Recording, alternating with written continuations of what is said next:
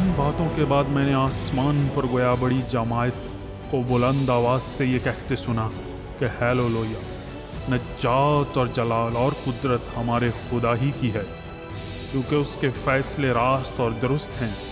اس لیے کہ اس نے اس بڑی قصبی کا انصاف کیا، جس نے اپنی حرام کاری سے دنیا کو خراب کیا تھا اور اس سے اپنے بندوں کے خون کا بدلہ لیا۔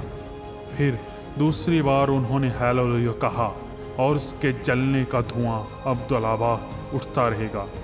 اور چوبیسوں بزرگوں اور چاروں جانداروں نے گر کر خدا کو سجدہ کیا جو تخت پر بیٹھا تھا اور کہا، آمین ہیلویا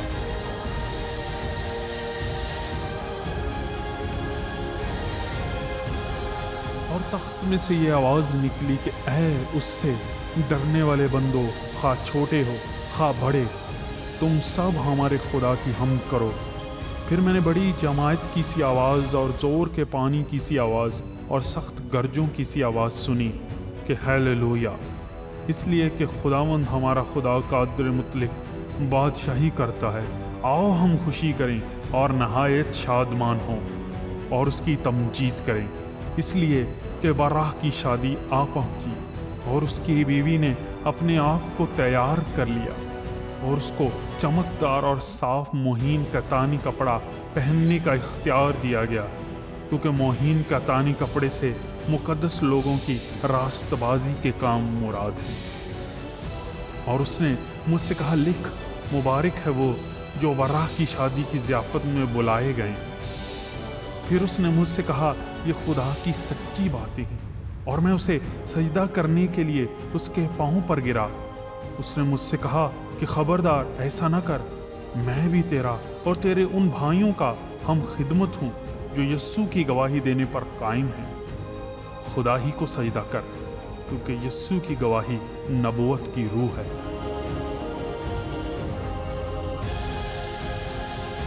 پھر میں نے آسمان کو کھلا ہوا دیکھا اور کیا دیکھتا ہوں کہ ایک سفید گھوڑا ہے۔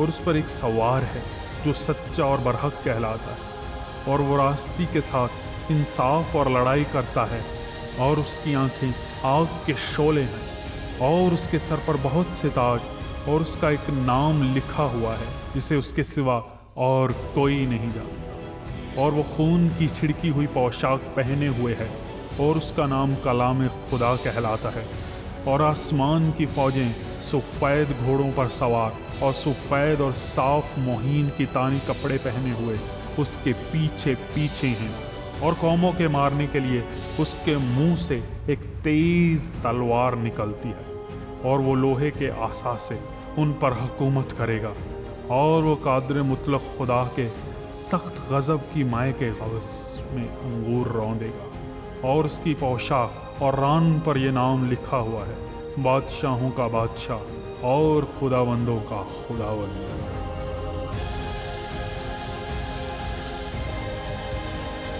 پھر میں نے ایک فرشتہ کو آفتاب پر کھڑے ہوئے دیکھا اور اس نے بڑی آواز سے چلا کر آسمان میں کے سب اڑنے والے پرندوں سے کہا آؤ خدا کی بڑی ضیافت میں شریک ہونے کے لیے جمع ہو جاؤ، تاکہ تم بادشاہوں کا گوشت اور فوجی سرداروں کا گوشت اور زوراوروں کا گوشت اور گھوڑوں اور ان کے سواروں کا گوشت اور سب آدمیوں کا گوشت کھاؤ۔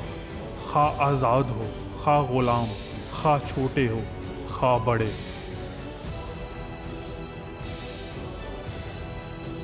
میں نے اس حیوان اور زمین کے بادشاہوں اور ان کی فوجوں کو اس گھوڑے کے سوار اور اس کی فوج سے جنگ کرنے کے لیے اکٹھے دیکھا۔ اور وہ حیوان اور اس کے ساتھ وہ جھوٹا نبی پکڑا گیا۔ جس نے اس کے سامنے ایسے نشان دکھائے تھے جن سے اس نے حیوان کی چھاپ لینے والوں اور اس کے بت کی پرستش کرنے والوں کو گمراہ کیا تھا۔ وہ دونوں آگ کی اس جھیل میں زندہ ڈالے گئے جو گندک سے جلتی ہے۔ اور باقی اس گھوڑے کے سوار کی تلوار سے جو اس کے منہ سے نکلتی تھی قتل کیے گئے اور سب پرندے ان کے گوشت سے سیر ہو گئے۔